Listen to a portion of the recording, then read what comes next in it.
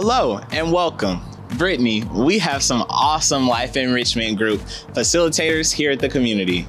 Yes, and we invite you to check out a group session. Our men's, women's, and open adult groups meet on Sundays at 8:30 a.m. and our seniors meet on Thursdays at 2 p.m. Our women's group is in the study entitled Lies Women Believe and the Truth That Sets Them Free. For details on how to connect to these groups on Zoom, Facebook, and phone, visit nationsford.org and click on the Life Enrichment Groups tab on the home page. Do you have a passion to teach youth and have the energy to match? We are looking for volunteers to join the student ministry. You know, Brittany, back during my senior year, I was actually a big part of the youth council and Generation Now, so I got to take a big active part in the ministry with our youth. Mm. Now, if you want to join the team or have questions, contact Rika Johnson at student.ministry at nationsforward.org.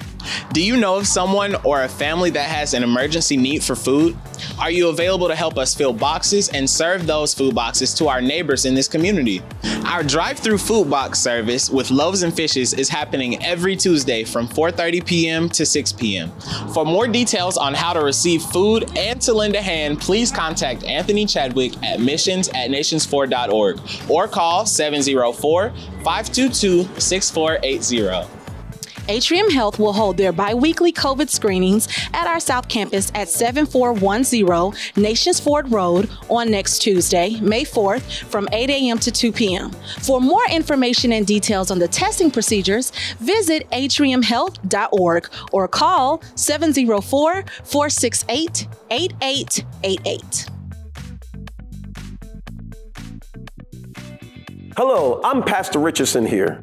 Polytheism, pantheism, atheism, idols, what do these terms mean?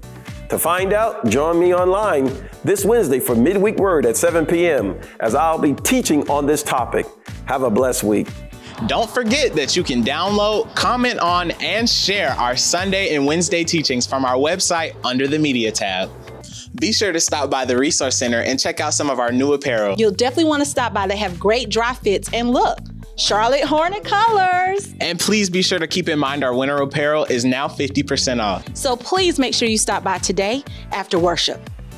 Let's continue to share the good news of the gospel and continue to keep our nation in prayer. We pray that you have a safe and blessed week. And remember, faith, faith over fear. fear.